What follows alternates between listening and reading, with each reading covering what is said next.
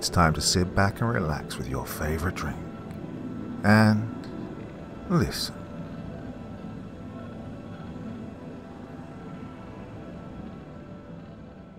Sunrise in Aztlan.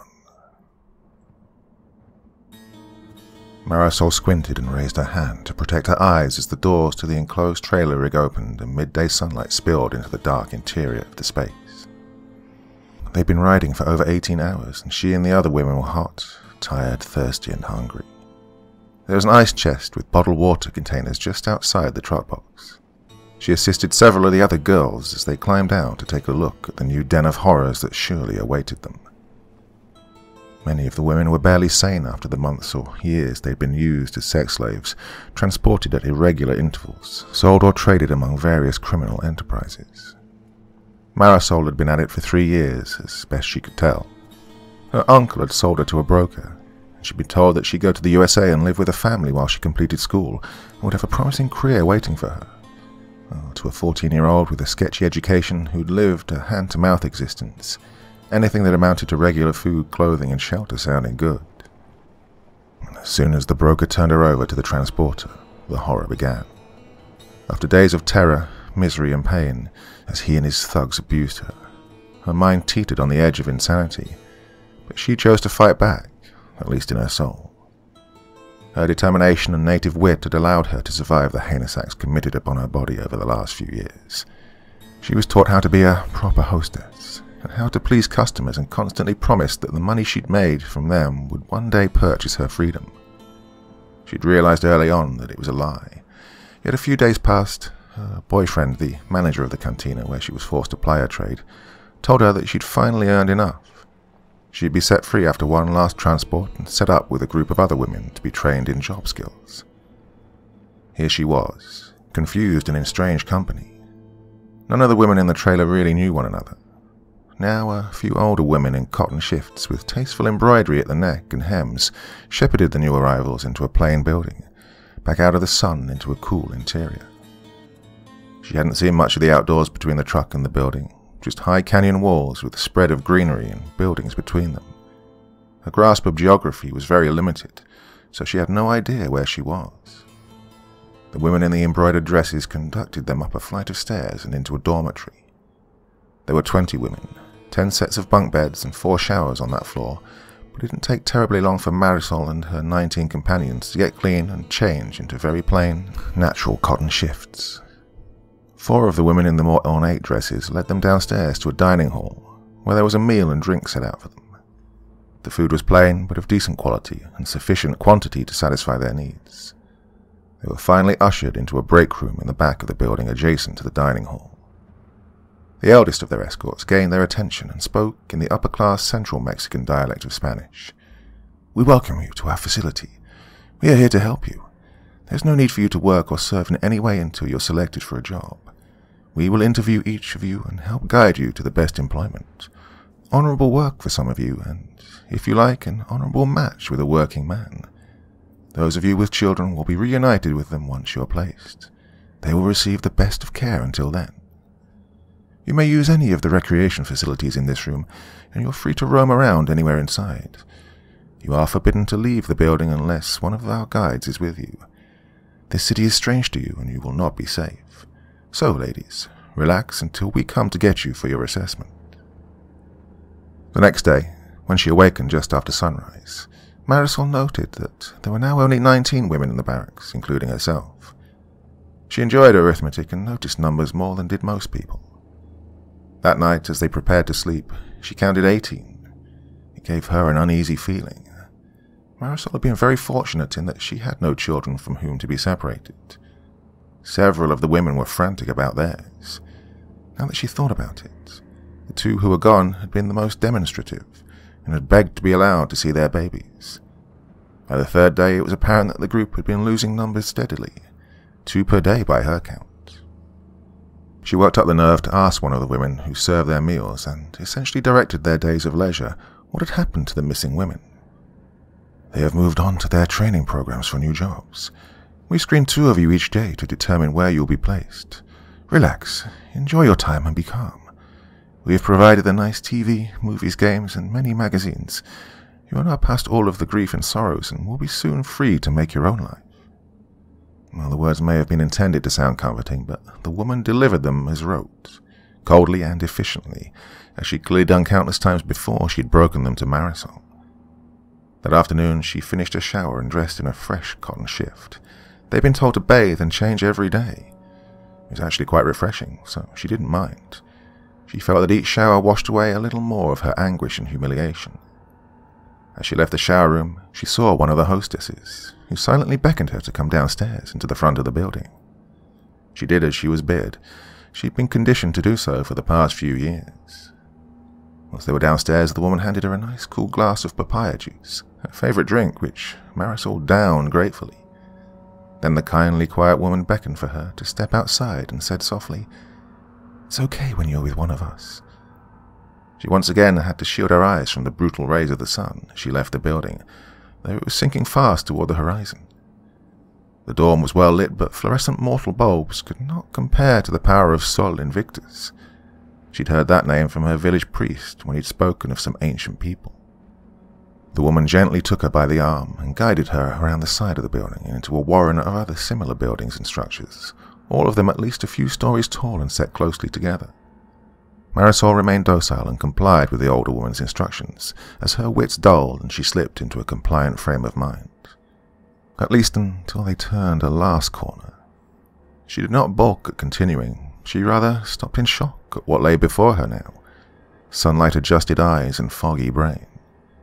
It was a pyramid, with its lower levels built out from the back wall of the box canyon a step pyramid with four wide levels at exact intervals as the structure rose. At the end of the last passageway between the buildings, they met with a man who escorted another male in simple cotton clothing. The escorts placed Marisol to one side and the wiry young male beside her, and silently indicated that they should walk together toward the pyramid.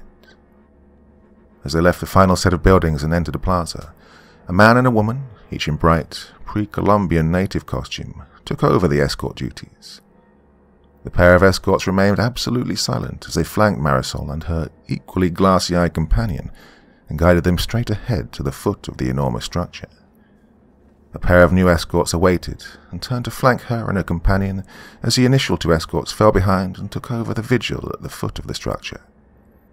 The next major step, where the pyramid broadened, another couple awaited, each was more elaborately festooned with feathers, shells, beads, and metallic decorations, and took over the front position as the previous pair took over their levels, until they reached the foot of the last platform and stood before the stairs that mounted to the apex. They began the final ascent, and she saw that at the top awaited a large, dull block of black stone. On the other side of the altar stood a man. Well, she wasn't sure at first. His costume was so elaborate that it hid his body, and a mask obscured his features. A mask at once ferocious and beautiful. She'd seen the image before, in one of the magazines in the barracks. She hadn't been able to read much of the article that went with it, but this image had graced the cover. One of the other women had told her that it was an image of an ancient Aztec sun and war god, Huitzilopochtli. She stared in awe at the face before her. She'd been feeling strangely calm and detached since she'd finished the papaya juice. She looked on in fascination at the sights below her. A throng of people had silently gathered at the base of the pyramid. They began to chant and then to dance in a slow, rhythmic manner, each one bedecked in bright costume. It was beautiful, with a myriad of colors that swirled and sparkled and further bedazzled her inhibited senses. People were located all around what she now recognized as a central plaza, among a labyrinth of structures carved into the canyon walls or built separately from stone and mud brick. From various points in and around the plaza, musicians joined in the music and drummers pounded out a cacophony. The couple who'd led her up the last flight of stairs to the altar gently guided her to sit and then lay back supine upon the basalt stone. They guided the young male to lie beside her, but with his head in the opposite direction. They then took positions at either end of the block. Marisol looked on in fascination as the music rose to a crescendo and the man in the exquisite mask stepped up to her and her companion on the altar and forcefully sang what was clearly a prayer. He had a beautifully gleaming knife that was made of what looked to her like black glass. Obsidian, she recalled the name from her childhood. That priest who taught her and the other children the little that they knew of the world. Yes, the napstone glittered, lovely and bright, in the waning sunlight. Kelly's wizened receptionist ushered in the large woman who carried a company issued go bag. No company name or logo, just plain shades of grey gear, like an old black and white movie. Defense Management and Technology Solutions Incorporated needed no logos, no brands. He would later find that he was truly past being branded as any mention or image of him, and there had been many had been wiped from the internet. It was the first time in a few years that he'd been free of stigma, free to just live as a normal person, well, within reason, of course. Oh, I work for a super cool international corporation with ties to intelligence communities from all over the world, he thought as he passed into the manager's office. Kelly was seated at her desk, and two men were seated with her. There was an empty chair dead center in front of her desk, obviously intended for him. Bjorn, right on time. Kelly greeted the latest member of the DMT Solutions field agent team to begin on-the-job slash field training. I'd like you to meet with your team leader for this mission, Art. The burly, dark-hued man who was seated next to her desk stood and shook hands. This other gentleman is your mentor, Silvio. Silvio stood. He was a hair under six feet, lean and wiry, a vulpine predator. His grip was like steel, Though he didn't try any macho BS, he was just strong. Bjorn took his chair and assumed an alert, listening posture.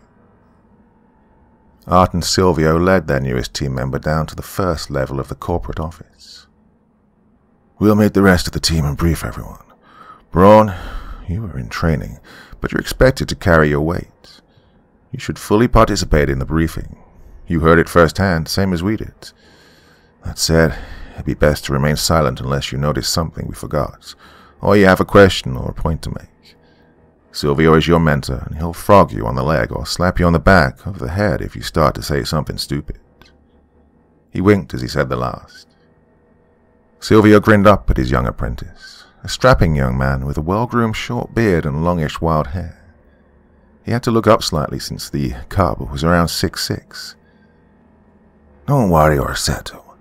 I won't hit you hard. he laughed in a friendly way, and Bjorn was satisfied he'd properly identified the hint of an accent as Italian. Bjorn remained silent rather than speak, and be confirmed an inexperienced fool. Well, he was hardly loquacious in any case, but he'd worked hard to be good-natured or at least project a non-threatening image, to set aside silly comments that had earlier in his life caused him to become angry, and to put him at risk for an episode. He looked down at his mentor slash field trainer and gave a brief nod. Thanks. Oh, you're going to have to learn to talk and be friendly on this assignment, Cub. Can't have you looking grim all the time. Bjorn gave his broadest, most friendly grin. Uh, better, declared Silvio, as they reached their destination, room 342. Only a little frightening. Inside was a circular table around which sat four other figures. Art, the team leader, entered first, and in his booming voice that matched his burly frame, proclaimed, uh, New meat. Get up and greet Bjorn, the bear cub. All four figures rose. The first on the right, a twenty-something woman, said simply, Pearly Gates. The second person announced that his name was Jim Bui, super bad regnet hero and purveyor of fine knives, no relation to the Alamo guy. Considering that he was a short, gracile man who appeared to be from Southeast Asia, Bjorn thought his claim may have been made in fun, though he wore an impressive-looking knife at his side. Not as big as the much larger cub sported. It was a veritable short sword, but still, he enjoyed discussing cold steel with fellow aficionados. Next was Daisy. She claimed she was named after a brand of BB gun, but it was in actuality a lethal weapon. The last team member to introduce himself was young, medium built and rather handsome, except for a few scars on the left side of his face, and hmm, Bjorn looked on in astonishment. The young man wore a short-sleeved t-shirt, and his complete left arm had clearly been replaced by a prosthetic that was unlike anything he'd ever seen. It was cobalt blue, but looked for all the world like a flesh and blood arm. He smiled shyly and said, Jaybird, I do the heavy lifting. He flexed the cobalt arm. I'm part of uh, defense management these days, but I started out on the tech solutions team of DMT Solutions Inc. as a biotech patient. Never thought such a thing would be possible. Maybe it's not. It's totally experimental, but amazing. An actual cyborg arm, like I'm in some graphic novel. He trailed off and looked in wonder at his arm, as though it was the first time he'd seen it and learned its capabilities. His smile broadened. I'm happiest to meet you. I just finished field training and I'll be glad to have someone new to pick on for a change. Art looked at the young man askance. You don't get to mess with anyone, new Dick. Bjorn's here for training. He ain't the newest member of... Uh... He dragged out the last and looked around expectantly as with a long play game until the entire team roared out as one. Los Diablos Tejanos. Bjorn nodded. The Devil Texians. What they called the Texas Rangers during the Mexican War in the late 1840s. Are you all from Texas, or... Art barked out a laugh. no. We just talked about cool, badass names, and Jim Bui here suggested it. He's from El Paso, but we let him stay on the team anyway. Oh, and Jay worked down near Houston, but he's originally from La La Land. There was more light banter, but within a few minutes, Art put on his game face. All right, everybody, time to settle down for briefing. Next assignment is going to be a challenge. It'll require some undercover work, and our client is Congresswoman Morales via BLM. Our contact there is Newberry. There were groans from a couple in the room. Art cut off the objections. Yeah, get over it. This one's important. Everyone settled down instantly. They were mostly type A personalities, A as in assertive, but they were also a well trained team of professionals. Art began. In a nutshell, people are being trafficked over the border and are disappearing, and we don't know what's happening to them. A few days ago, the Congresswoman's daughter, Raina, went missing while visiting Galveston. She hasn't shown up at any of her usual haunts there's been no ransom demand, nor any word for that matter. Of course, the Alphabet agencies are working on it. We have some decent intel that links Raina to the other disappearances. So, um, how's this BLM instead of ICE or Homeland? Jim Bui asked. Art nodded in acknowledgement of the good question. Because while we don't know for sure, the trails seem to lead from the cities into the wilderness out west in the Four Corners region, onto federal land. We'll have to work in some pretty sketchy places. May have to do some things that'll seem pretty callous, but if we can develop or talk to an informant, we can get to the bottom of it. Oh, one thing, he added. The reason they've contacted us is that while law enforcement can file charges, we can actually get the girl as freelancers, and maybe we can find out what's happening with the disappearances and put a stop to it. Bottom line, no one hears from these folks once they pass into Four Corners. We have information that the disappearances are connected to the Aztlan movement. Apparently not such a dead group after all, and possibly tied to an ancient cult. He raised a hand. Oh, and uh, before you ask, I'd consider at least one of those to be rumor and the other speculation. However, we've all seen people do some weird stuff, and since weird is what we do. From there, he gave out assignments, and the briefing began in earnest. Shortly before they landed in Houston, Pearly Gates, seated next to Bjorn, asked, You speak any Spanish? Hablo poquito. Comprende más, Bjorn rumbled. Something about Pearly Gates put him off a little. A seething quality, as if she was always on edge. Then it hit him, like I was before my initial training with Brain. Wonder if she has some um, episodes. He wasn't about to ask at this juncture. They made the flight in relative silence, and he was a little surprised when she'd asked him the question. She nodded at his response. Good, we all speak some. Daisy has it as a first language, and it'll be useful on this mission. I'm fluent, so I'm your instructor when we're not doing other work. Silvio's pretty fluent, but he thinks in Italian when he tries to think in Spanish.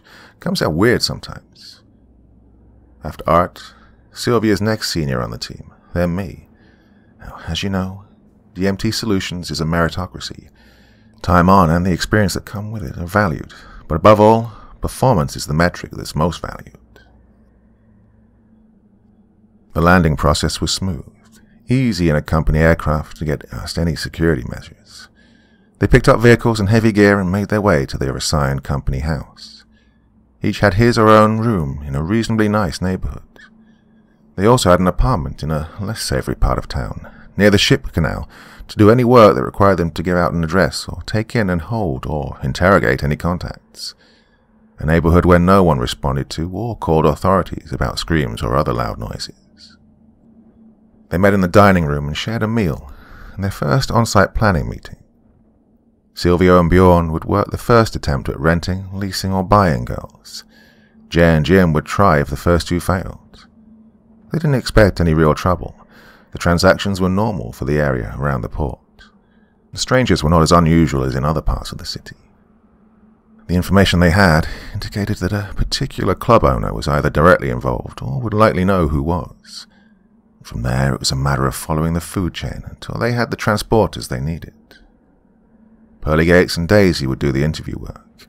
Art would supervise. If local contacts were needed, he'd develop them and represent the company should the need arise. He was essentially the logistics manager for the mission, and the final arbiter when plans and information had need of reconciliation. Bjorn found a parking space under a light and spaced a little away from parked vehicles to either side. Silvio looked at him. Why here? Bjorn knew that the question wasn't meant to change his mind or confuse him. Silvio just wanted to gauge his thinking. Well, this SUV is pretty nice. A late model. Potential target for thieves. We're more likely to encounter those than need to have darkness for subterfuge. Plus, we don't know the area. Based on the condition of the parking lot, we don't want to have to flee a darkened space to get our transportation if things go all the way wrong. Plus, we have room to drive away without running into other vehicles or objects. Silvio nodded. Good. What potential problems can you see? Bjorn looked around the lot and at the buildings. Well, first, we can hear the bass of the music thumping even through the closed windows with the air conditioning fan up. It'll be really loud inside, so we'll have to communicate with signals or close contact. Second, there's security staff at the entrance. Shabby, but they're pat searching people for weapons. Not thoroughly, but one has a one-style metal detector. Third, that new-looking board fence contains a house or similar structure. A couple just stopped at the gate and spoke to someone inside, who led them through. Not a problem if we hire a girl, but that means we'd have to go through and... Uh... Silvio nodded. Yes, uh, we'd have to use the girls. Maybe not necessary. Depends on who is present tonight. We may be able to just buy some outright. Not likely, though, since they don't know us yet. Keep your role in mind, though. I'm the player, you're the bodyguard, the tough guy. First, we get past security and take a look to see if El Dueno is here tonight. He should be. It's Saturday night. No, Sunday morning. So he should be if our information is good. They turned on their monitoring equipment and conducted sound checks. The rest of the team was nearby, ready for a rescue if needed. They carefully crossed the parking area, which was full of potholes. He'd observed as he watched the security staff check people that they never reached toward or searched the groin, so they placed their small handguns along the zipper line of their trousers. If the metal detector wand even worked, it was sound in that area anyway. These guys didn't look too interested, just earning their keep. To facilitate the process, Silvio slipped one a $20 bill. With no problemos, they entered La Quetzal Cantina and immediately passed a wall with a painted plumed serpent outlined in black light paint. It glowed and gave them a sinister stare. Hmm, better artwork than one would have expected in this part of town, Bjorn considered as they entered the club proper. Silvio led them to the bar and ordered a drink. Bjorn stood by him, looking around with menace for any potential threats to his boss. This had the advantage of being part of his true mission, as well as what he needed to project. Several customers took note of the exceptionally large, hirsute young man, El Oso, but none decided it would be a good idea to bother him or El Zorro, whom he was clearly guarding. The musica thumped on and started to clop as the DJ decided it was time for cumbia which he shouted, echoed by many drunken voices in the crowd. They made their way to a table, where Silvio sat and leaned back in a relaxed manner, and Bjorn sat and remained upright and clearly on duty. There he was, in plain sight, an older man who wore gaudy jewelry, an ugly white seersucker suit, and a nice fedora with a bright plume that extended from the band on one side, seated on a dais equipped with a long table. His goons stood, one near El Dueno, and one at the opening in the rail around the dais, the gateway to an audience with the great and powerful one.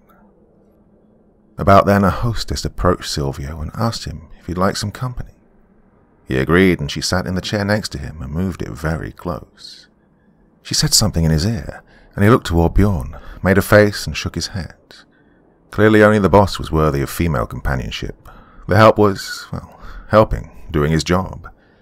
They spoke back and forth for a few moments, and Silvio slipped her a large tip. She got up and approached the bartender.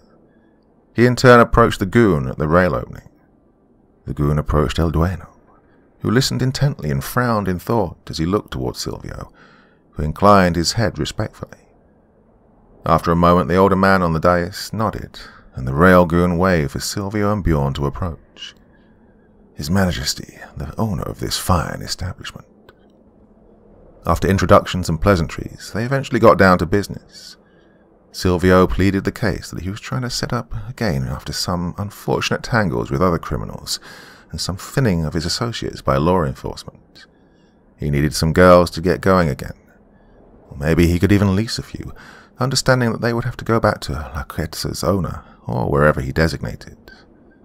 The big shot agreed to consider the offer, and said that he'd let them know by the following Friday. There was plenty to do during the next week, while they awaited their next appointment.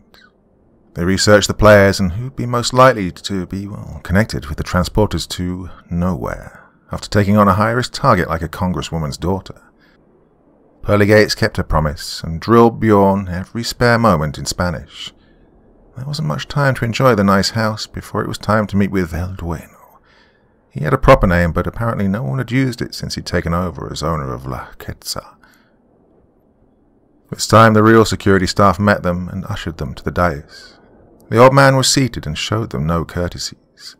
This time he wore a hideous lime green suit and a light blue beret that once more sported the plume. He looked for all the world like a Mexican leprechaun. It was hard for Bjorn to hold back a smile, at least until the goon from the front entrance and the one who had charge of the rail entrance began to crowd him. About that time, he saw Silvio tense and raise his chin toward the little man who was clearly so full of self-importance. The gesture was a challenge. Everyone on the dais knew it. Bjorn had let the man get close on either side of and a little behind him. He feinted forward, as if intending to attack their jefe, but abruptly stopped as the two large men surged forward and grabbed at his arms. He stepped back and used his elbows to strike them both in the solar plexus. He turned into the one on the right as he delivered a hammer fist to his jaw, then continued his turn, stepped forward, and used his elbow to strike the other in the jaw. He kept turning in another full spin and stomped a foot on each of them and then turned, planted his feet, pushed both to flip backwards over the rails. The personal guard stepped forward as his compatriots hit the floor, and Bjorn pivoted and grabbed the man's gun hand in his own massive paw and crushing grip. He used a palm heel strike and slammed into the goon's chin, and then a second strike shattered his nose. Before the man could crumple in place, Bjorn stepped back and used the grip on his now limp and empty gun hand to whip him around and over the rail to land heavily on top of his two associates. As his first line of defense fell and his personal guard engaged with Bjorn, the owner of the club started to rise, but Silvio was on him. He saw that the little man had a large pistol, which he was in the process of drawing from under the table. He pointed it toward Bjorn, the obvious threat, but Silvio took hold of his gun arm and raised it, even as he fired. The explosion from the barrel was barely audible under the eardrum-punishing thumping of the music, but the long flash from the barrel was very clear to anyone who dared gaze at the occupants of the dais. Silvio kept twisting the little man's arm and then used his own palm strike to break the man's elbow. El Dueno pissed himself and all but collapsed. Silvio, however, had a new plan for the little king of turds and owner of shite. Bjorn shook slightly. His blood was up, and he feared that an episode was about to take him, but he managed to remain focused on the task at hand. They'd surprisingly little trouble getting out of the cantina in the parking lot. He drove them to the designated rendezvous point at an abandoned industrial building near the port. They met with the rest of the team, and the arrogant little man, who was king in his own world but nowhere else, told them everything he could. It didn't take much persuasion. He was in tremendous pain, and when the woman pointed at the wetness in the front of his pants and pretended to laugh, he was completely humiliated. In the end, he set them up with a contact. He indeed knew the transporters who took care of girls who were used up or who caused problems, and who maybe had been looking for a special treat to kidnap. They took him to the crappy apartment and set up a watch on him until they'd confirmed his information was accurate. And then they tied up his loose end. Silvio led Bjorn through the process of flushing a now useless turd into the Gulf of Mexico. His information was confirmed, so there was no need for him, and he'd been likely to want revenge, or worse yet, pass on intel to his superiors. Bjorn turned to his mentor once the body had properly sunken. So, uh, do we do things this way often? Silvio looked up, a little surprised. Well, no, but this piece of crap tried to shoot you. Don't tell me you have sympathy for him. Bjorn shook his head. No, I just wondered about the frequency of the necessity. Silvio shrugged. Depends on the assignment and on the targets. Doesn't happen most assignments, well, at least not collateral damage or intelligence sources. When we take out a piece, the other bricks have to shift. Bjorn nodded and passed the bottle of hand sanitizer he just used to his trainer. Yeah, that's what I thought. By the way, I never thanked you. You saved my life when you pulled that big pistol. Silvio waved him off as he took his turn to clean his hands. All in a day's work, brother. Besides, if he'd used something more practical and without a safety, he'd have been just a hair faster. I'd need a new trainee, and Art would be unhappy with me for losing the one I had. They shared a grin and made their way back to the big house to regroup with Los Diablos Tejanos. We have eyes on him, Daisy's voice intoned over the earbud. Just like the man in the wet green pants told us. Handlers, truck, lead, and drag cars. Driver and partner just loaded the last of the cargo, and they're shipping out west. She and Jay were on overwatch with the target. The other two vehicles would follow on as backup in case there were any problems. Their biggest concern was that they had bad information and that these girls would ship no further than San Antonio, Austin, or El Paso, yet they'd have to chance the long drive. There was indeed a stop in San Antonio, but only to add some more women to the convoy of misery that once again wended its way westward. In El Paso, they dropped off a few and added a few. The drive to El Paso had been the longest and most desolate of Bjorn's young life, through the empty lands west of the Pecos. Then they headed into New Mexico and turned northwards. The convoy made another stop in Albuquerque. This time they dropped off a few of their unwitting passengers, but didn't pick up any new ones. Then it was north again, into the Navajo reservation lands.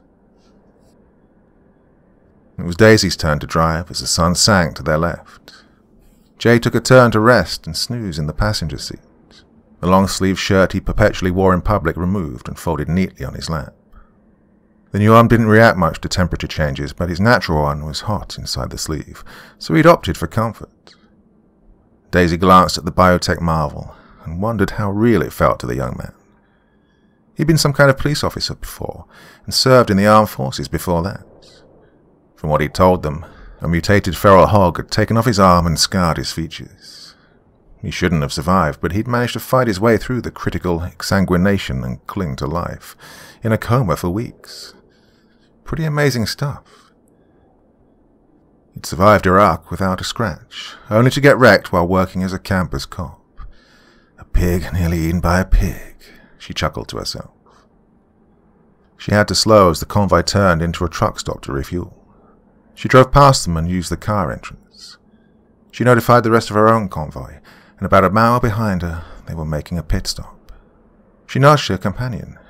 Jaybird, wakey wakey, we're making a refuel stop.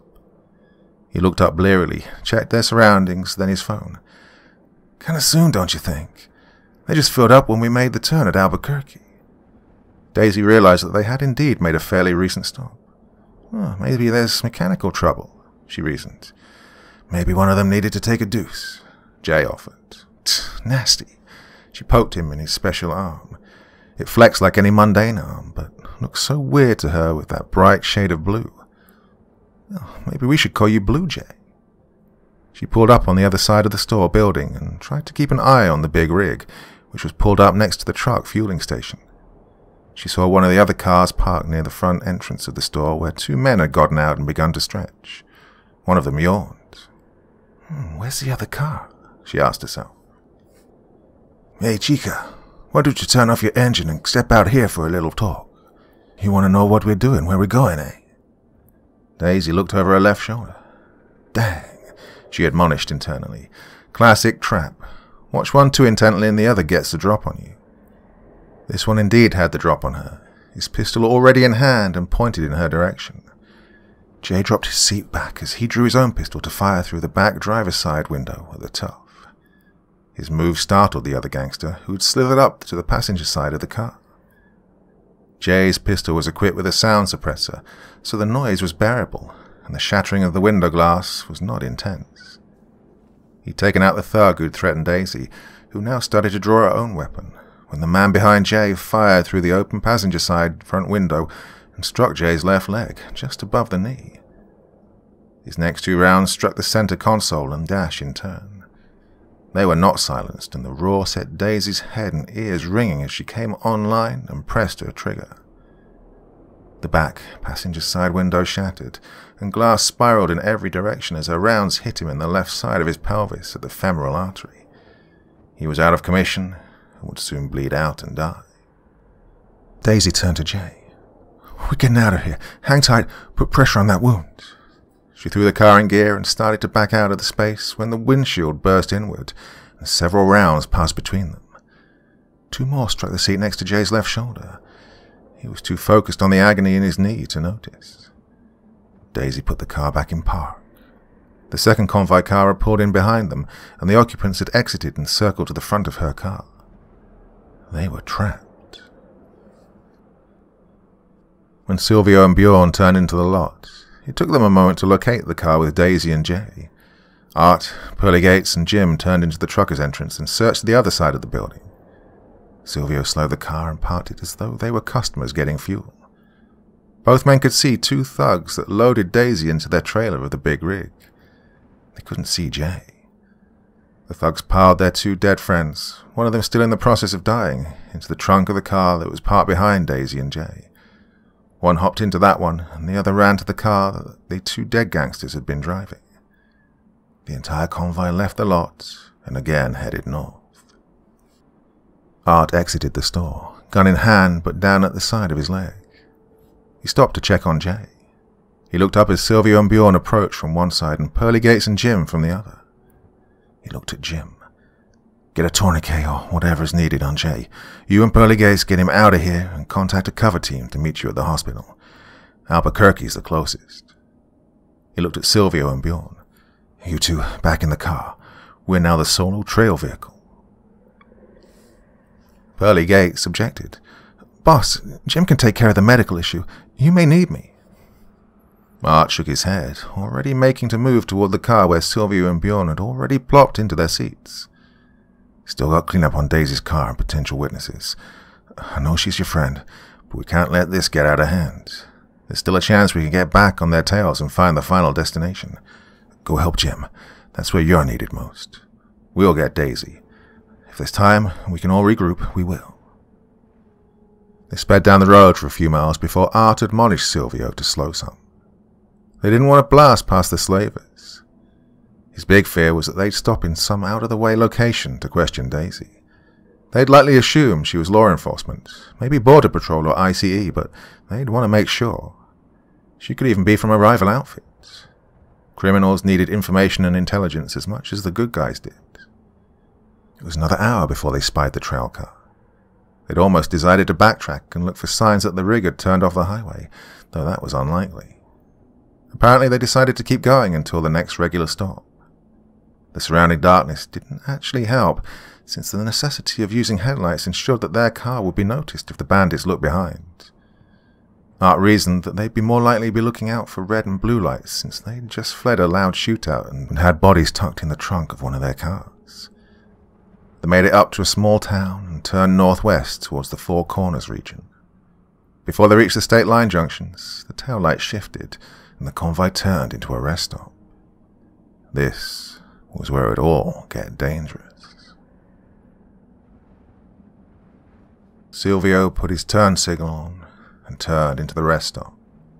He and Bjorn exited the car and entered the restroom. Art stayed and kept an eye on the tractor trailer and its escorts. There was an old white short bus stopped beside the truck. The windows were darkened, but presently the back door opened, and several girls were ushered from the bus into the dark trailer. Art used his mini binoculars to check the logo on the side of the bus. It's from a local reservation. These girls were most likely native girls, Americans being sold to the slavers. Art took over driving for a while since he was most rested. Due to Bjorn's bulk, Silvio took the back seat. They left out ahead of the convoy, but just ahead. They travelled just below the speed limit, and before long the lead car overtook them. When they reached a two-lane passing area, Art pulled to the right lane and let them pass. He stayed behind them and just spared up for occasional glimpses. He'd have to get closer soon. They were nearing the area where their intel said that the convoys disappeared, and it'd be daylight in a couple of hours. They'd been climbing for some time, and off to the side of their car, Bjorn and Silvio looked out at the moonlight above the mesas.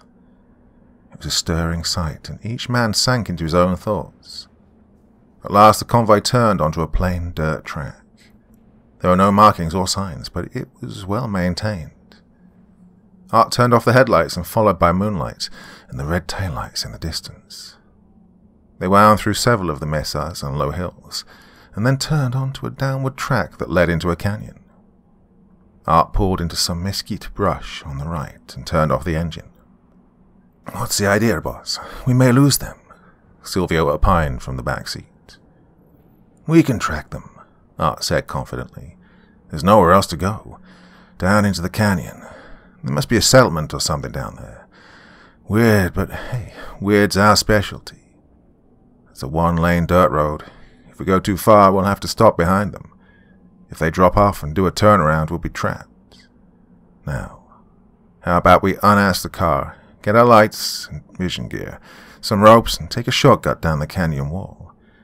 Save us some time walking down that dirt road, which may come under unfriendly observation at any time, and hopefully they don't have much farther to go. They made it to the canyon floor and paralleled the track for a few miles. There was an odd rhythmic sound from up ahead, as though drums and many voices rose in a chant. They looked at one another uneasily. The sound drifted in the dry desert air, then abruptly ceased, started again for a moment, then stopped for good. They could see that dawn had arrived above the canyon rim, but the shadows prevailed. Up ahead, the road simply ended at a wall, where the wide split in the land became a box canyon. The vehicle tracks led straight up to it and vanished. Silvio led the others to a pile of rocks from which they observed, hopefully without being observed in turn. This will do for now, until we can figure out their security system and who may be watching. I'd like to take a look at the box and wall, rumbled Bjorn. I can stay close to it and remain in the shadows. They should last a while longer. He continued speaking before either of the elder men could raise an objection. I know, I'm massive. However, I can move as well as anyone. In this outdoor space, the scale makes me as puny as either as you. Besides, I need to do something useful. I'm training, right?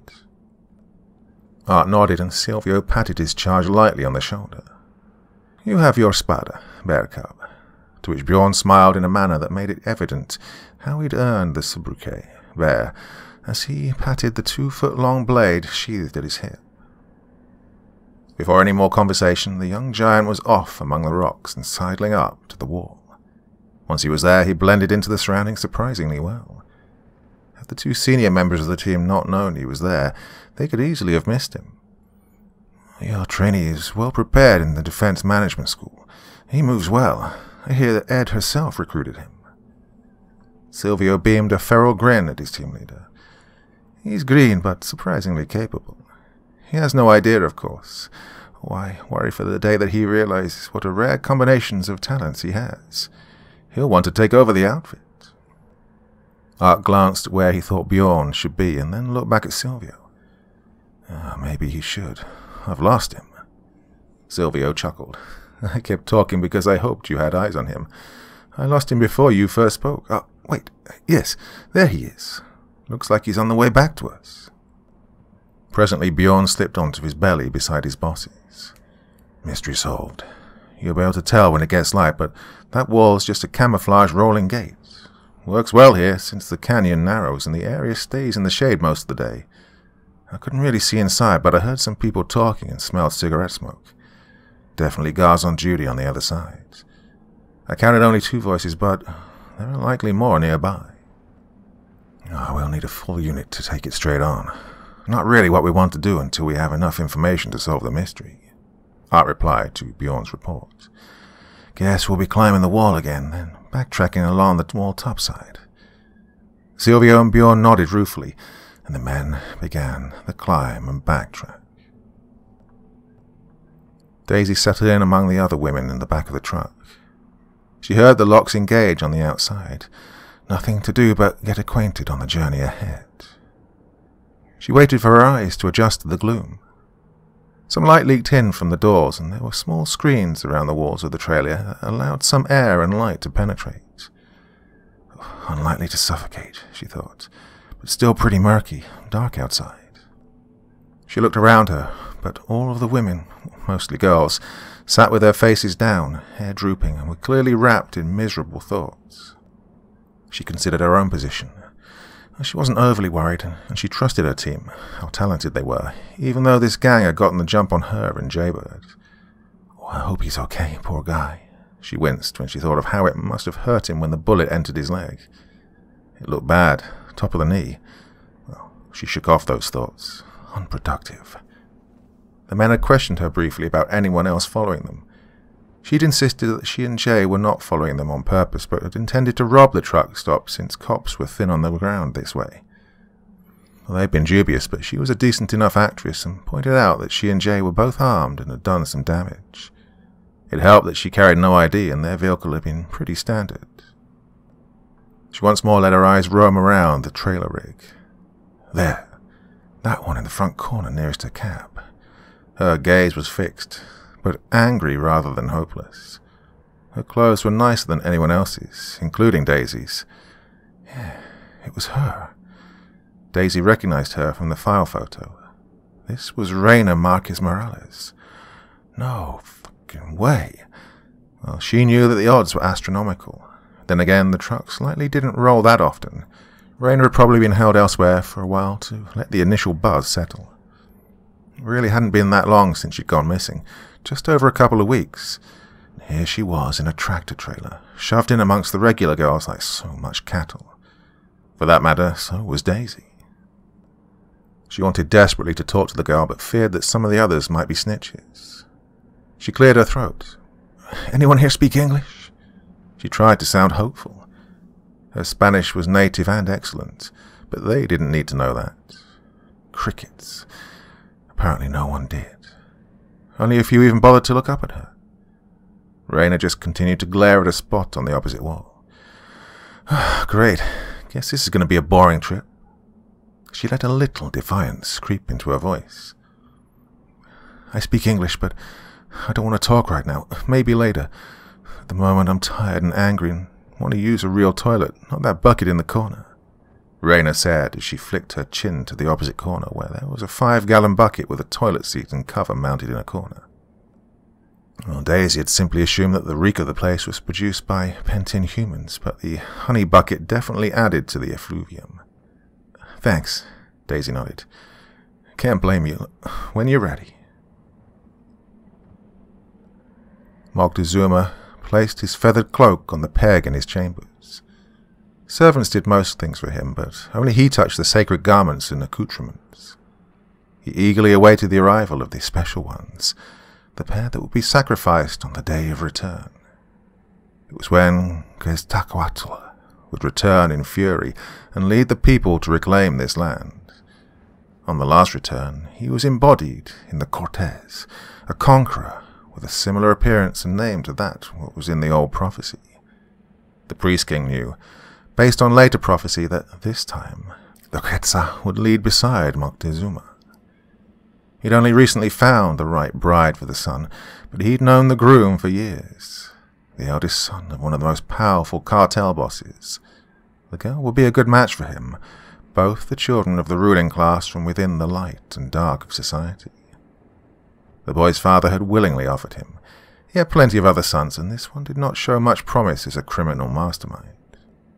The usual offerings, offerings not sacrifices, were the discarded souls of the world who sought dreams of freedom and prosperity, but whose bodies were instead used by cruel masters. Women shattered by the sex trade, men exhausted by work in fields and processing plants. Mere peasants, those offerings. Yet these two children of powerful people will be a true sacrifice, something special for the people, La Raza, to offer the gods as a means to gain their favor and to welcome the coming of Quetzalcoatl. So he had been taught as he grew into the role of the priest king of his people. It had become more difficult of late to hide from the modern governments and drones and satellites. He had had to allow modern technology to blend with the ancient ways. Yet that would soon all be done. The bride had arrived just in time. There were no ill portents as had preceded the arrival of Cortez. This time there would be triumph, and the gods would return to claim this land for their people. Once they were up top and back at the car, the truncated DMTS team took a little more time to thoroughly hide the vehicle. The main concern was that the guys would have aerial surveillance, likely drones. They retrieved more gear and drank plenty of water. The dry air drained the moisture from their bodies with even slight exertion. Art contacted Pearly Gates on his closed channel sat phone. Oh, looks like Jay's gonna make it, but he may end up with a new leg to match his arm. Kid'll be a bionic man before it's all done. We'll have to start calling him Blue Jay with all that cobalt blue hide. Uh, she took care of cleaning the truck at the stop, and the few potential witnesses were all well paid and frightened enough to have seen and heard nothing. Local LE has been redirected. All surveillance video for the date in question has been, well, mysteriously looped. She was able to capture our coordinates. Of course, she and Jim Bui want to join us now that Jay is stable. They'll contact us when they reach the turnoff to the dirt road. Bjorn pointed back along the roadway they'd followed. Dirt on top, but you can see it's paved underneath the sand and gravel. No wonder it was in good shape. Asphalt underlayment. Silvio nodded. Good eye, Bjorn. Now, let us find a place to bed down until we get the rest of our team. Bjorn did just that, and they were soon ensconced among some rocks near the canyon rim, a place from which they would watch without being observed and rest in preparation for a busy night. Toward evening, Jim and Pearly Gates arrived, and soon had their new SUV hidden near the car. The entire group prepared to set out once full dark had arrived. Any word on Daisy? Pearly Gates asked anxiously. Art shook his head. No, Pearly Gates. We haven't seen the occupants of the truck, and it hasn't left the canyon yet. As the sun sank until it met with the western horizon, they heard, very faintly this time, a rhythmic thumping and chants as the canyon acted like an enormous speaker and piped the sounds to them. Not many other people would have noticed, but DMT Solutions teams were trained to do so, and most of this team had experiences that led them to notice far more than was common. Then the noises were drowned out by the yips and wails of nearby coyotes, plaintively calling into the coming night. It was time to go. They were unsure of what had happened to the people who disappeared into the canyon, but they knew that Daisy was in grave danger. As a trainee, Bjorn had known her the least amount of time, but he had learned to like and respect the young woman. She appeared small and soft, but could pack a wallop when the need arose, and had the energy of a BB in a glass bowl, she proudly claimed on more than one occasion. He could clearly see that Pearly Gates was the most affected. She and Daisy were like sisters. Pearly Gates had taken on a cold, seething anger, and he could see the struggle within her to maintain a calm approach. They desperately needed information on the interior of the facility and how it operated. He and Pearly Gates now peered over the rim of the canyon wall through advanced night vision devices. The technical team of DMTS had produced many near miracle tech devices, and these were no exception. The canyon opened up dramatically after the choke point. The buildings along the sides were cleverly worked into the natural rock for the most part, but the city, well, there's no other word for it, extended onto the canyon floor as well. As the wall of the actual end of the box canyon rose, a pyramid, a real life pyramid right there in good old USA, he mused. Oh, even if half those buildings are dwellings, we're looking at a population of around five to ten thousand. More if the caves extend deeply into the surrounding rock, he rumbled to his fellow scout. Hmm. Pearly Gates growled in return, possibly in agreement, but probably with some reservations. Her tawny locks gleamed a silver grey in the moonlight, for all the world like a puma. He was reminded of those creatures when her eyes flashed in his direction. We aren't going to get any more information from here. Let's go back and see what the drones found and the satellite mapped. They returned to the makeshift camp inside the boulders. Silvio, in his vulpine manner, suddenly appeared from the darkness. It was almost enough to startle Bjorn. Never a good idea, even though he'd been trained to control himself. Pearly Gates, already on edge, snapped at the lean field agent. Seriously? You should know better, Silvio. Never jump out in front of fellow predators unless you're looking for a fight. Silvio nodded tightly in acknowledgement. Yes, you know it works both ways, though. The two of you are moving very quietly. No need to startle the rest of the Diablos Tejanos. We are all on edge with worry over Daisy. I've downloaded the SAT information to your devices. Art and Jim Bui are bringing in the drones, and we can start sorting out our plan. So I don't know much more than you. Rayna spoke quietly to Daisy, who had moved to sit beside her, despite the proximity of the rank honey bucket. I was in Galveston with some friends. We have a beach house there at Jamaica Beach. A couple of girls I didn't know came in with a friend. I think they must have played a part in taking me. We hung out and partied for a while, then I woke up in a dark room. They turned on a red light bulb and they fed me. I was able to figure out where the toilet sink combination and the cot were. Everything was metal. Couldn't really see the person, or maybe people who brought the meals, but I think they were all women. Maybe like these. She waved her hand slightly to indicate their fellow passengers on the journey to misery. Daisy nodded along, but remained silent. She wanted the girl to keep talking. After a moment, Rayna obliged. Then they came for me, the goons, the ones that put you in here with us. Neither one of us belongs here. The rest of the women are undocumented. I talked to a few, mostly prostitutes. She whispered the last. I can't believe this. Do you know who my mother is? Has there been anything on the news? Daisy wasn't ready to show her hand yet. No idea. Don't watch the news. Boring. I've seen some things, though. These chicks don't look like pros. They look like sheep. Sheep that have been kicked around pretty hard. Rayna shrugged. Whatever. I just hope that my friends were able to get help. If my mum finds out, she'll send someone to get me. She again slipped into a whisper. She's in Congress. They'll have to send someone. Uh, she's pretty well known. Even some talk of her being in line for a bigger office. I just have to wait. Daisy again remained silent. Apparently the girl was spoiled and vacuous enough to assume that none of the other women would note or comprehend her whispers. She had to do her job, but, God, what an arrogant little ass-tard. Definitely had to keep that to herself. Rayna had seemed to hold it together pretty well, but now she sniveled a little, a small whimper and sniff of soft crying. Someone in this trailer seemed to be crying quietly at all times, like they took it in shifts. The truck slowed considerably and made one sharp turn, then headed down a steep grade. Eventually it leveled out for a while, and then it stopped. There were rumbles and voices outside, and the truck once again lurched forward. The poor light that penetrated the vents began to turn grey when the truck came to what felt like a significant halt. The driver took the vehicle out of gear, and she heard the cab doors open and shut. Presently, the first bright light of the morning greeted her. It wasn't too bad. There were still shadows since canyon walls. That's what secluded the light. The herd of women left the truck, and women in plain cotton shifts with intricate embroidery met them and spoke soothingly as they were ushered into a plain building that Daisy quickly recognized as a dormitory. Like in a jail, but maybe a little nicer. Hmm, a newer jail. While one of the elder women gave a short introduction, she focused on a different discussion that occurred just outside the still open door. She noted that one of the eldest of the women spoke to the lead thug. That was close. We only have one left, the one for sunset tonight.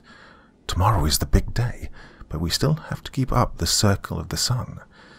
This won't be the last load. The thug shrugged. Uh, the Big M's the one who ordered us to time it this way. We kept her close to where we took her until the immediate search was over.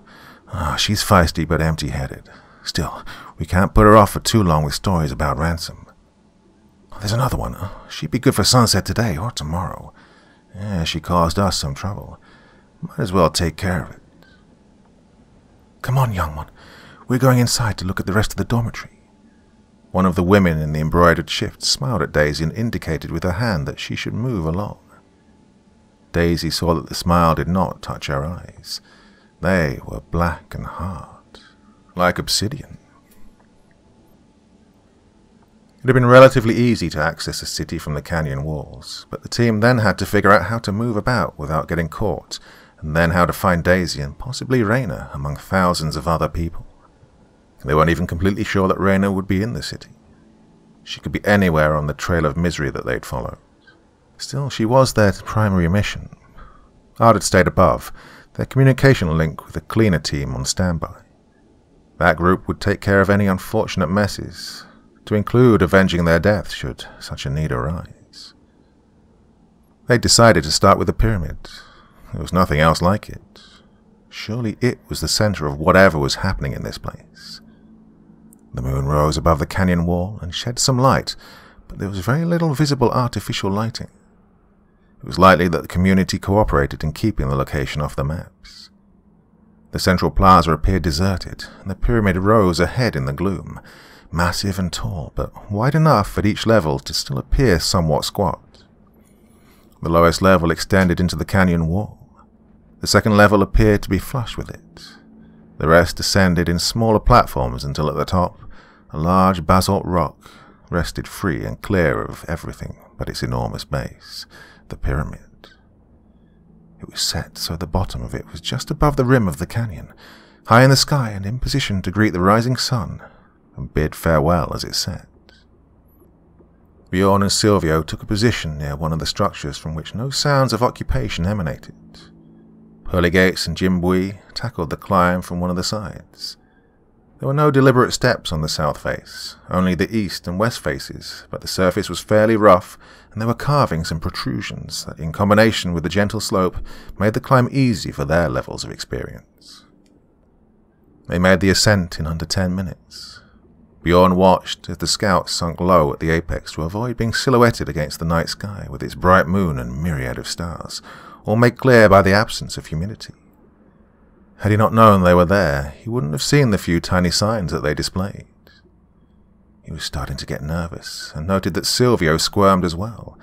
Then a shadow rose from the silvery light. It was quickly joined by another. The scouts had returned. Pearly Gates spoke in low tones. That thing is just what it looks like, an altar. It's been cleaned, but there are clear signs that blood has flowed across the surface of that block. It went into a drain in the center. The back of the block that faces the cliff has an opening, like a chute.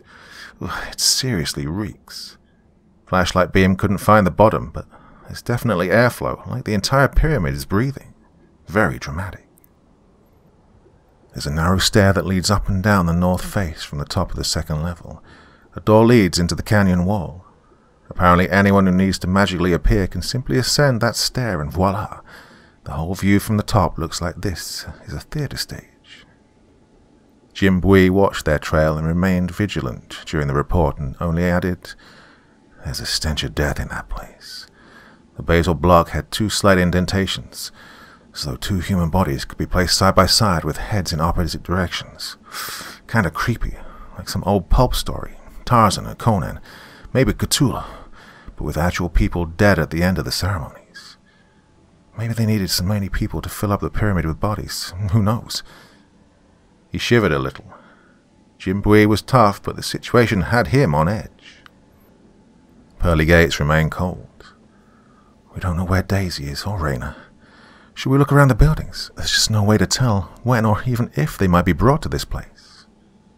In the end, they decided to take a look around the city. Pearly Gates and Jim Bui started at the base of the eastern stairs and Bjorn and Silvio took the western end. The streets were squared off because of the buildings that lined them, yet it seemed that the buildings were staggered so that there were no direct approaches to the pyramid until one cleared the last offset. Then it was a short walk into the plaza and to the base of the steps. They maintained a leisurely pace, stalking quietly and staying close to walls that cast moon shadows when possible. The night was moving on rapidly, and it was eerie how quiet the complex was when they considered the number of people they'd observed and heard earlier. Every roof and upper wall was left in natural basic colors, but each lower level had been used as a canvas for murals of ancient native life and depictions of the myths and legends of pre-Columbian tribes in their glory days. It was difficult for Bjorn to avoid becoming engrossed in the tales that the artwork told, but then he saw one that he could not ignore.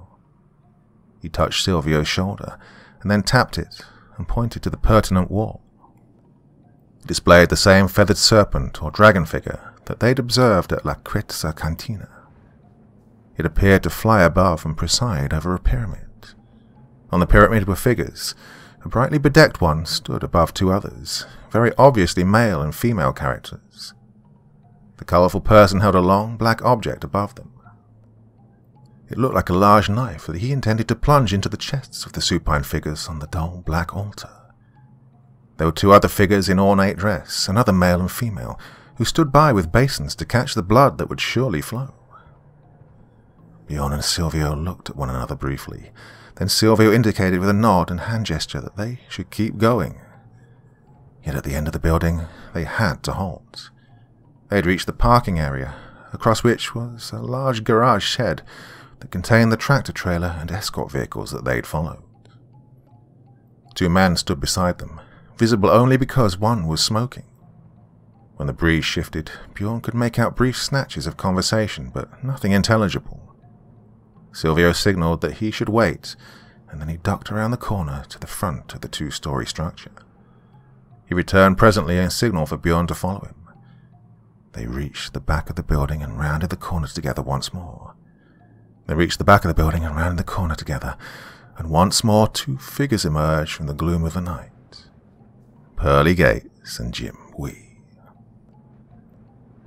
Daisy quietly scouted through the dormitory in search of an escape route, other than the front door back doors on the first floor.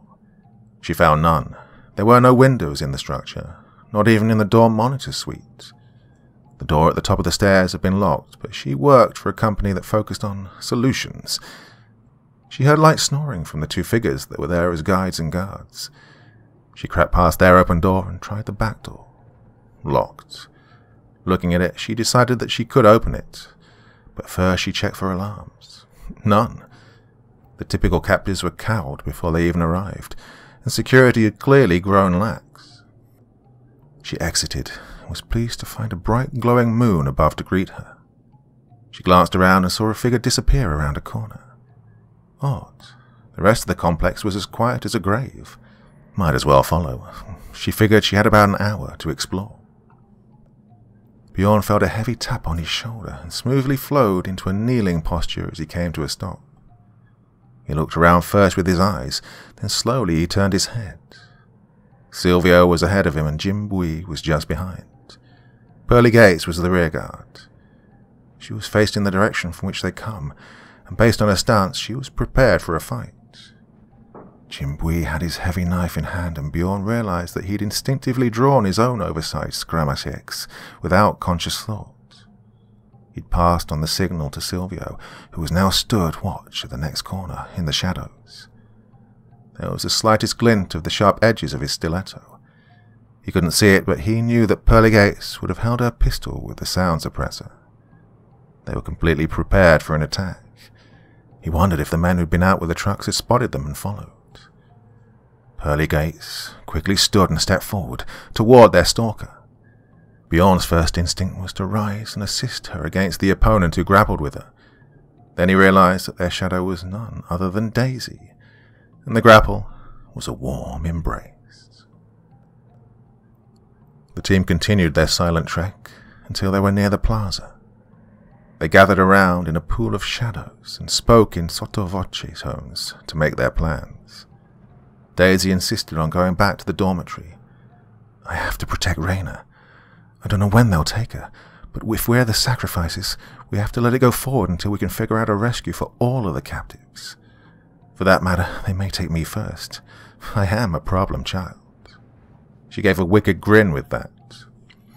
Pearly Gates slipped a small caliber pistol into Daisy's palm. Now you're a problema for these freaks. Her grin was downright savage. Bjorn presented her with one of his smaller blades. So, what's the plan? Daisy made it to the bottom of the stairwell before she heard anyone stir on the first floor. She was at the top before the matrons reached the bottom, and in her bunk well before they reached the top of the stairs. One of them crept over and quietly awakened Raina, who naturally whined at this early hour. I don't care about getting a tour of the facilities, and you know very well that I don't need a job screening. I want sleep. I'm tired, and for the first time in days, I'm clean and in a decent enough bed. The matron shushed her and reassured her that it was important that she rise and follow her downstairs. With a groan, Raina rose and put on her issued sandals. She shuffled across the dorm room, dragging and scuffing her feet the entire way. Daisy was tempted just to let her die. What a useless brat, she thought briefly and unrealistically. But even this idiot didn't deserve to have her still beating heart cut from her chest. Maybe, she thought as she rose silently and ghosted after the receding pair. Bjorn and Silvio took position on the north side of the pyramid, just below the rim of the second platform. They settled on the west side since it would be the most in shadow during sunrise. They decided, and Art had agreed, that regardless of who was sacrificed, they would have to focus on Raina. She was the mission. Pearly Gates and Jim Bui had taken position so that Daisy, who now knew her way to the plaza, could inform them which captive was on the way to the sacrifice.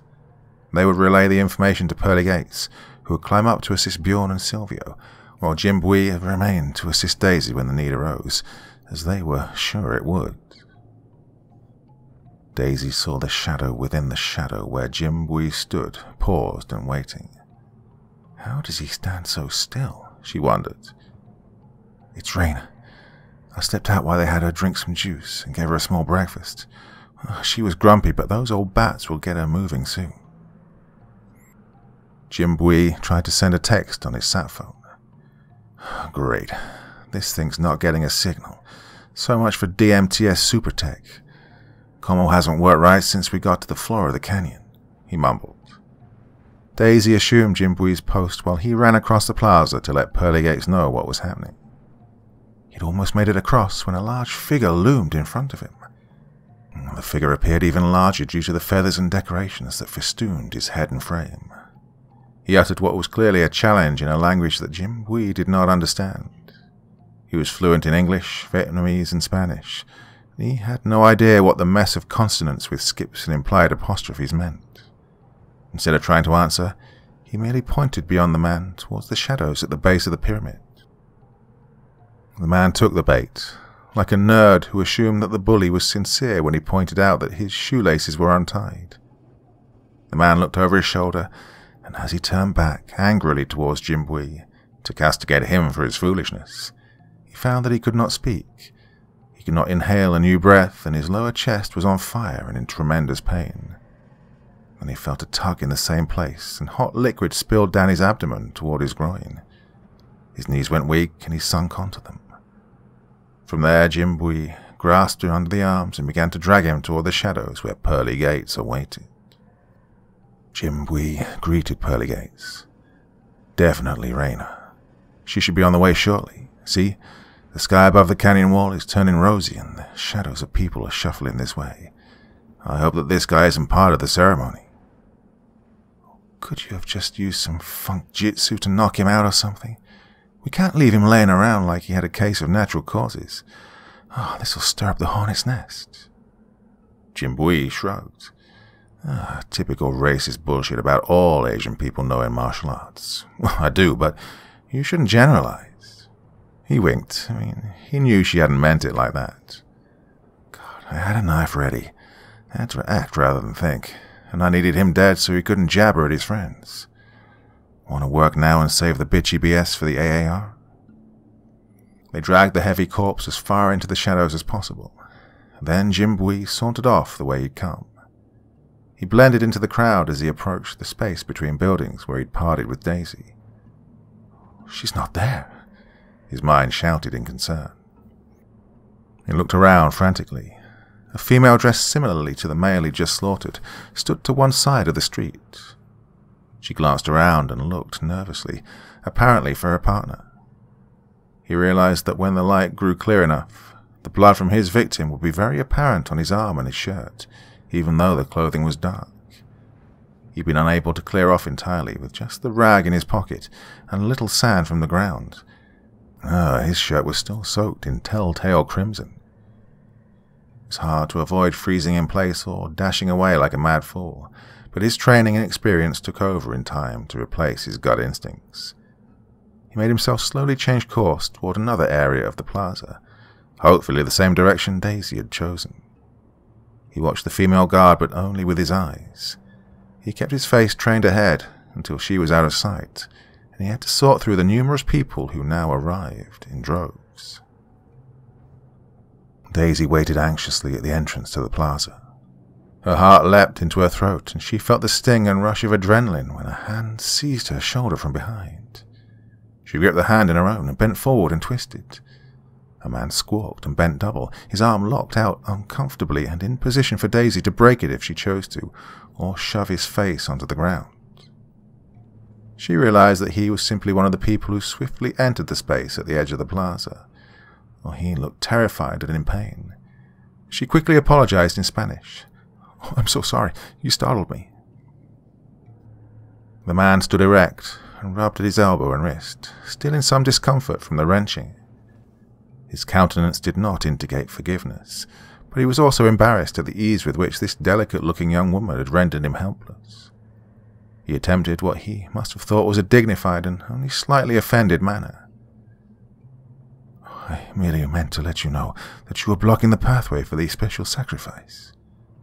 He stood and looked at her, awaiting a response. She nodded and walked away from the street entrance. All the while, she hoped desperately that Jim Bui would be able to find her in the ever increasing crowd. The man watched her for a moment, but apparently decided that she wasn't worth his time.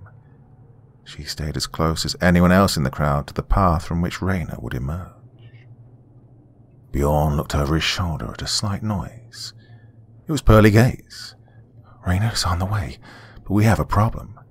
Jim Bui had to kill a dude, and it may have been one of the ceremonial types, dressed all in feathers and leathers and such. Well, I crammed him into a shadowy corner, but when they go looking for him, oh, it's going to raise a hue and cry. Bjorn nodded. Looks like this thing is getting underway very soon. They won't have time to do much until afterwards. He looked at Silvio confidently and raised an eyebrow. Silvio looked thoughtful for a moment, then activated the text feature on the sat phone. Send in the cavalry ASAP. Rain is on the way to be slaughtered. We have no idea where to go once we take her. Plan is still to take her and get inside from the second level. Jim Bui had to kill a guard, so we will definitely need extraction. He hit send, and after he read the return message from Art, he relayed it to the other two. We have to get this right. Use the Grand Poobah as a hostage and get Raina into the cliff wall. We don't know what's all in there, but as the boss, he likely has a bolt hole with an emergency exit. Problem will be holding off the mob until we can find it or make him tell us where it is. He fell silent and signaled that the others should as well. There was movement from a doorway at the cliff wall. A tall figure emerged. He was bedecked in a voluminous feathered cloak and wore a massive headdress, complete with a detailed face mask and a jewel encrusted golden mantle. The costume must have weighed a ton, yet the figure walked erect, with no audience to behold, and began to mount the steps toward the basalt block at the apex of the structure. His back never bent and his head never drooped to check his progress on the shallow steps that literally kept one on his toes. Once he'd attained the summit, Silvio signaled, and the trio swarmed quietly up the pyramid in the wake of the priest king of this city.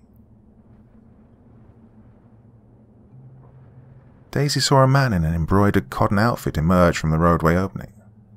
He escorted, not Raina, but a young man in a plain cotton garment. The young man looked stunned and was obviously fascinated by the structure that rose before him. Daisy was confused for a moment, and then saw the female ceremonial guard step forward and speak quietly to the male patron, the mirror of the matrons who guarded the female dormitory. He looked confused, but eventually nodded, and they escorted the man away from her position. At first she was nervous about following, but the crowd around her shifted and moved along behind the pair that escorted the young man. They walked toward the next entrance to the plaza, where they met with Raina and her escort. Daisy sighed in relief. They'd gotten it right that the pair would emerge on the west end of the plaza, closest to the sunrise stairs. It could arguably have gone the other way, but they would climb until they greeted the rising sun at the summit, rather than climb from the east along with those first rays.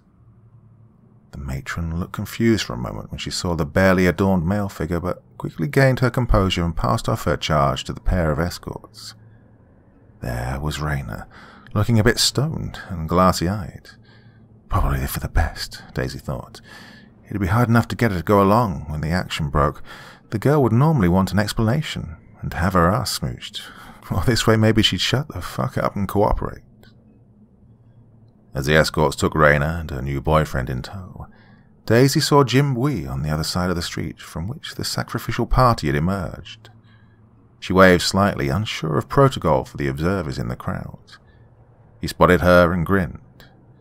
They soon followed the couple of sacrificial lambs and their shepherds as closely as they dared. Jim walked beside her, with his blood-soaked sleeve between them. Daisy knew that this was not the time to ask about it. At a certain distance from the base of the pyramid, the crowd came to a disturbingly quiet halt.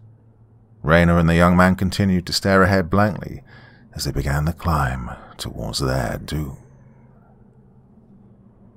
Bjorn looked up from his perch near the apex of the pyramid.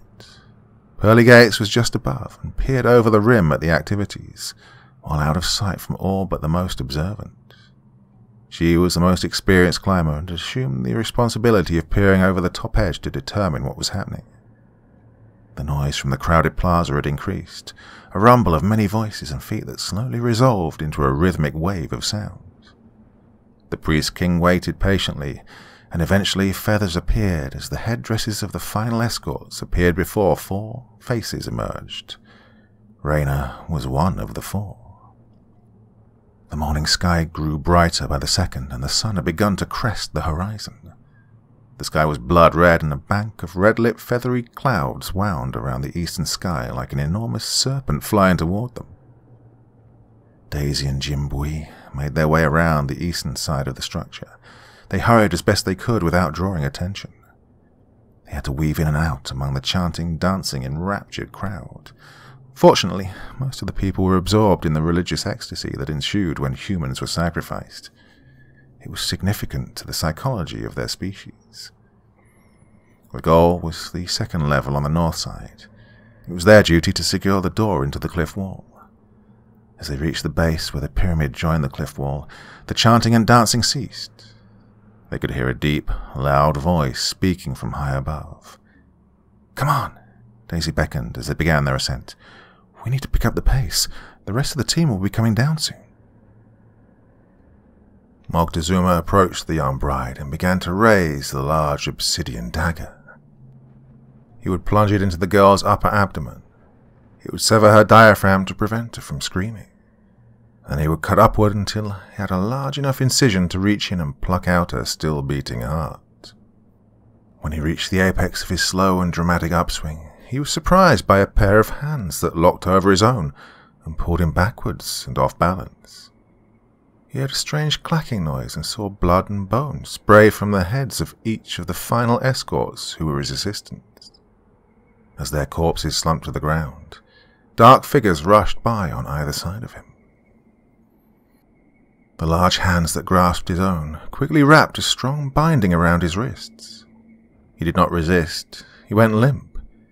Surely this was all part of the divine plan, though he didn't understand. He'd been taken hostage, as his distant ancestor had by the soldados of the Cortez. Sunlight burst over the last barrier and brilliantly lit the altar. Yet the priest king was nowhere in sight. The sacrifices were not on the altar block. Lumps of bloody feathers attached to crumpled bodies lay on each side of the summit. The crowd had been chanting their crescendo, most with their eyes closed in anticipation of opening them to the spray of blood from the sacrifices at the moment of Huitzilopochtli sent the first full rays of the sun. There was silence for a moment, then rumbles, and then roars. Something had gone dreadfully wrong. The brightly costumed escorts on each level looked at one another in confusion, and then, almost as one, they leapt up the stairs towards the summit.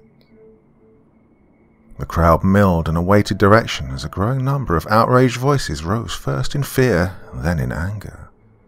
A couple of figures who detained the apex of the great structure waved for the crowd to move forward.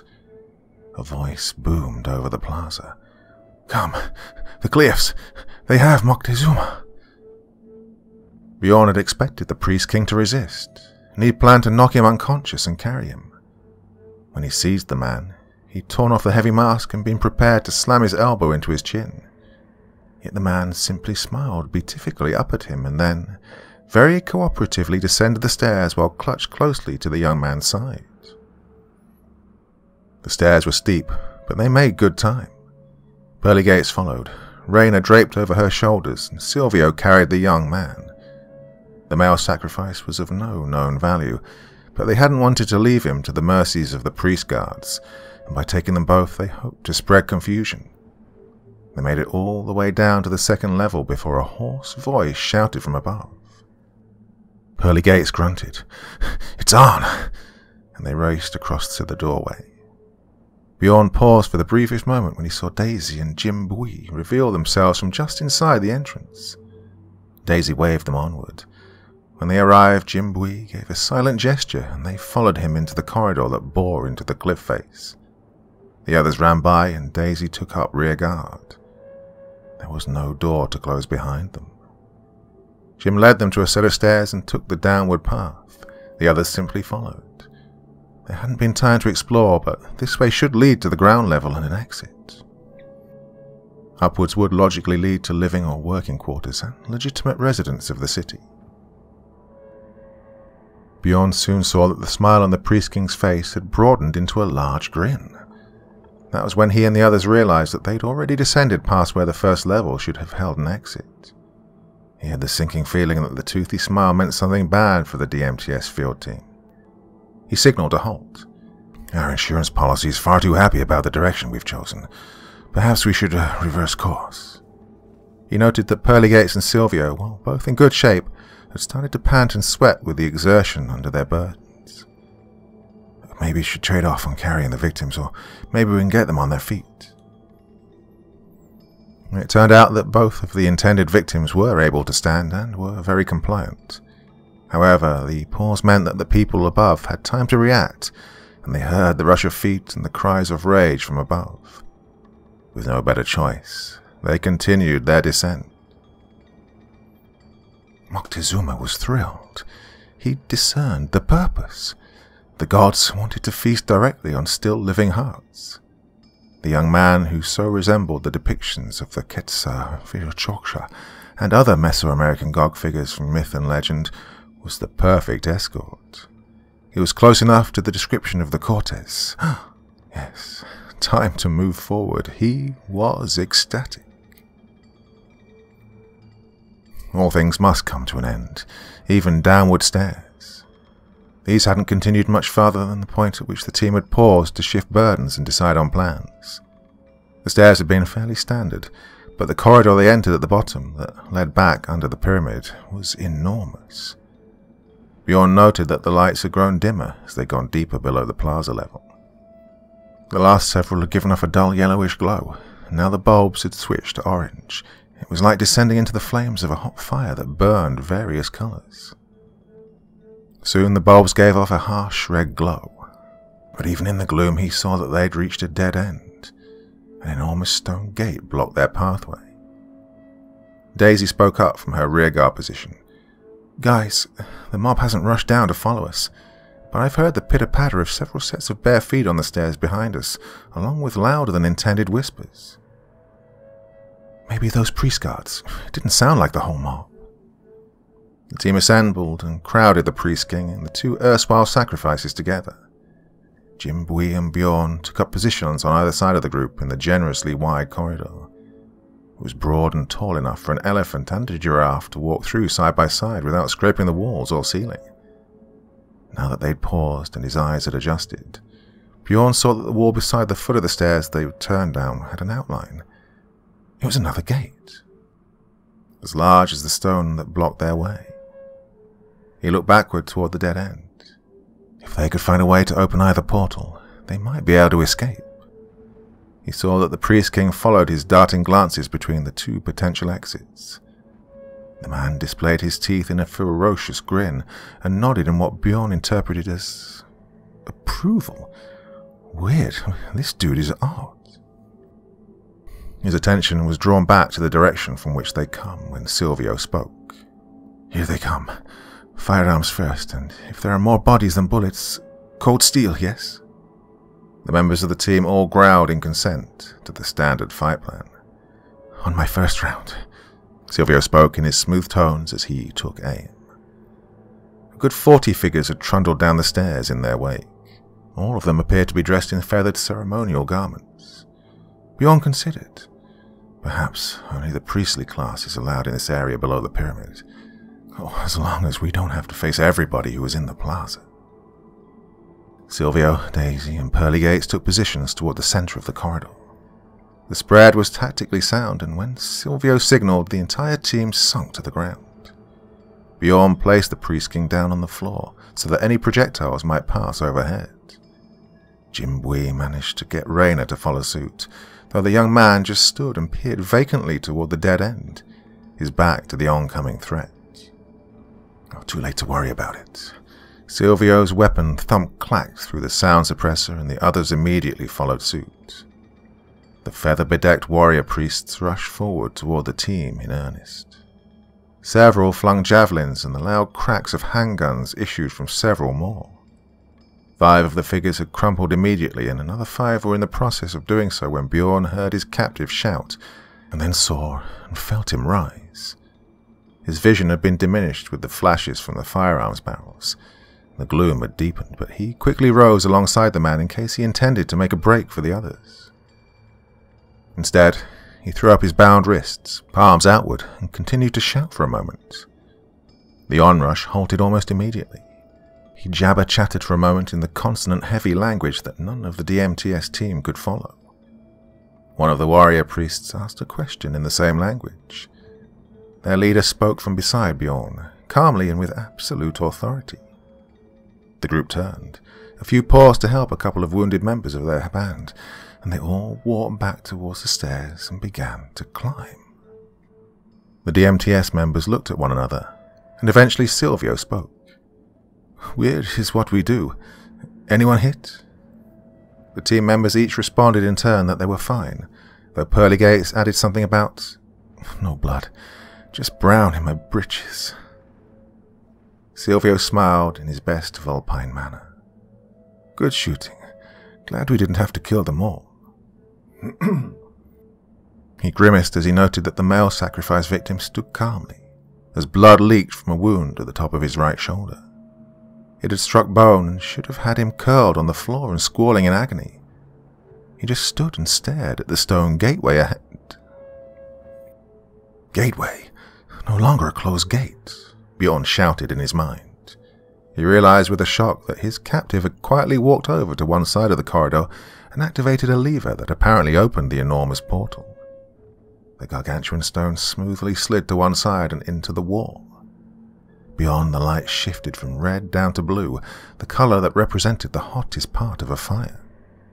An overwhelmingly foul stench flooded into the corridor. He realized that it had impinged on his senses earlier, but hadn't been important enough to fully register with all of the other events. He'd just come up with a what I learned entry for his field training notes. He looked over at his prisoner, who stood calmly and indicated with an open hand that they should enter the gateway. Like Charon inviting us into the underworld, he thought. Wait a minute, how had he slipped his bonds? Then he noticed the stone dagger in the man's opposite hand. When the priest king saw Bjorn glance at his weapon, he reversed it and offered it to the young giant, his wicked happy smile back in place. Bjorn took the dagger and this time, without taking his eyes from his charge, asked, So, do we go with him, or chance the climb back up the stairs? Guns up. Forward at a cautious pace. Daisy, please resume rear guard unless you need a break. Silvio intoned. Daisy, sounding more perky than most would in this situation, responded. Got it. Easier than creeping forward into the dark. The stench grew stronger as they made their way forward, and an odd sound began to issue from the near absolute dark ahead. Breathing, Bjorn thought as he fished his flashlight out from his equipment vest. Oh, likely just restricted airflow in the stone ahead. Oh, Pearly Gates said that the pyramid sounded like it was breathing. Two other beams stabbed through the distance ahead before he had time to activate his own. Twin blazes of lights, like torches, reflected in response, and a thumping rush of enormous feet pounded toward them as the glowing blazes resolved into a pair of eyes in a colossal and hideous countenance. Before anyone could react, a rock the size of a large beach ball whistled through the group and splashed into Daisy. It traveled so swiftly that when it tore through her head and upper body, left her lifeless body to stumble forward a step before it sunk to the floor of the corridor. It was immediately followed by a rapidly spinning chunk of wood that splattered the torso of the male captive and left his remains smeared and streaked on the wall and floor. The freight train of monster was then upon them in person. It snatched up Jim Bui in its six-fingered hand and started to raise him towards its double rows of teeth. The lean man drove his large knife into the hand repeatedly and into the lip of the beast just below its nose. Yet nothing could halt its foul intent, and blood fountained from his shoulders as he bit off his head. Silvio shouted, The eyes! Aim at the eyes! It all happened quickly. Pearly Gates flew into a rage. Her features distorted, her teeth gnashed, and she whirled forward, pistol in one hand and knife in the other. Bjorn recognized the transformation as he assumed his own. The berserker soon joined the she-cat as their natures shifted. The intense training he'd endured to channel his rage episodes from mindless fury to an effective last-ditch fighting method served Bjorn well. He roared in fury, and Pearly Gates shrieked in rage and anguish. Their firearms were quickly emptied and abandoned as they joined the enemy with cold, sharp steel, the human equivalent of teeth and claws. Silvio hammered away with his pistol and followed his own advice. The giant humanoid figure rose to its full and impossible 17 feet height and flung Jim Jimbui's remains like a spear of flesh and bone. Silvio instinctively ducked and stepped to one side, though there was no need. The intended target was the feathered cloak that swirled as its owner retreated back down the corridor toward the lever control for the portal. The bodies smashed together with a wet crunch, and yet another splash sent blood flowing. Art shook his head in grief and disbelief. I can't believe it. My team wiped out in seconds after all we've been through. I should have been there with you. I should. He choked and trailed off. We needed you to be where you were. If you hadn't brought down the cleaner team, we would never have survived that thing. He looked at his wounded but conscious and now bandaged trainee. Bjorn and Pearly Gates were amazing. I knew about them and their episodes, but had never witnessed one. And then two at once? Oh, they moved so swiftly I could barely follow the action, roaring, screeching, slashing, gnashing their teeth. It was terrible and glorious. Pearly Gates slashed the creature's groin, and Bjorn, no kazatsa, no bullshit. He climbed that thing. Used his short sword and that obsidian knife like pitons, plunged them into the torso over and over until he reached the neck. Oh, too bad about Pearly Gates. About that same time, the Etienne kicked her.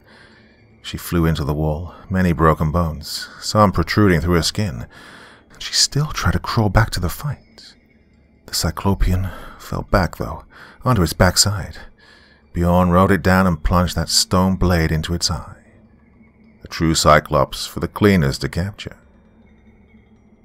He continued to look in admiration at Bjorn, who shrugged. I barely remember anything after the episodes.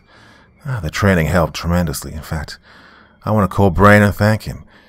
If he hadn't forced me to learn even as much control as I have, I wouldn't have been able to direct my strikes. I'd have just punched and clawed and bitten like an animal, like a bear. So, mission accomplished. We got Raina back to her mother. What do you think the US government will do about the Aztlan sites? Bjorn questioned his initial mentor. Brain, a man even larger than he, at the formal debriefing and after-action report. Brain, a name acquired from people constantly juxtaposing the letters of his given name, Brian, shook his head. Probably nothing. They're not anxious to have people realize that slavery still exists in this nation. Granted, this was an aberration of the horror that already existed.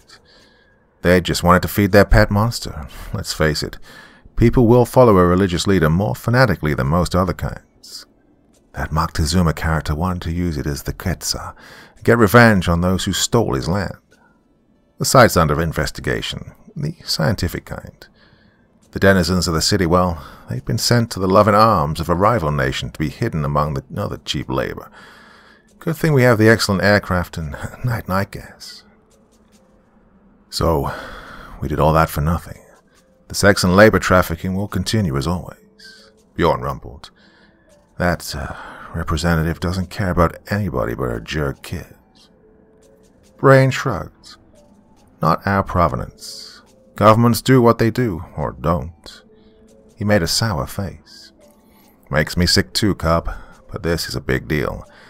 Think what would have happened had Moctezuma led his entire population, plus those of several criminal organizations with ties to him, and the ancient worship to attack the southwest states. A bloodbath of enormous proportions would have ensued. We're hearing rumbles that they may have more of those giants at other sites. I believe we may have to handle more of them in the future. So, what are the things? Nobody else wants to say. They just keep telling me that I may get to know after I complete field training. Apparently, I got more initial training than most. Will I get more field training as well? Does that mean I have to wait for years to know what killed so many of our team? Brain smiled, then laughed a little. We have to do some paperwork and hold a little ceremony, but you've been accelerated from field training status. You'll be a utility player rather than being assigned a single team.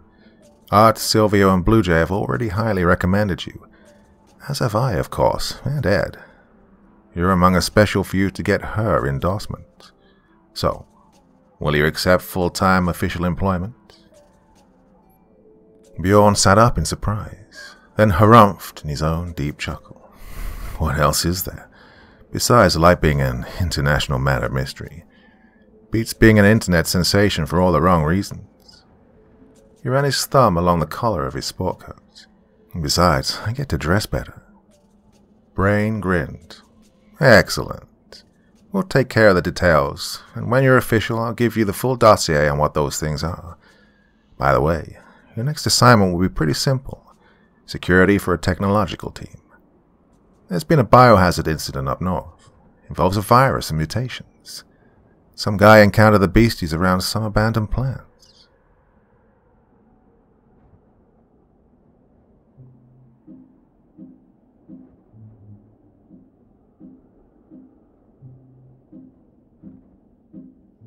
Ooh, that was a big one for a Monday evening, but, well, as soon as it popped up in my subreddit, Dr. Creepen's Vault, I knew I had to read it. What a fantastic story that was. Hope you enjoyed that one. Now, um, bit of an accident last night. Um, behind the scenes on YouTube, you can either get to choose where you put your adverts or you can let YouTube do it for you. And um, it's a quite shocking situation of um, a gazillion adverts in an hour long video last night, but um, not my fault. Just a little accident, and it won't happen again, alright? You know how I like to uh, keep the story moving, okay? So, well, that's it. Uh, back again. Maybe tomorrow on my other channel, a little story for you. But I'll be back here on Wednesday and another episode of the podcast coming up on Thursday over on my other channel and on Spotify, Apple Podcasts, and anywhere where you care to get your podcast from. So, lots to look forward to this week. But enough for me for one evening. Very tired after that. So, till the next time, sweet dreams and bye bye.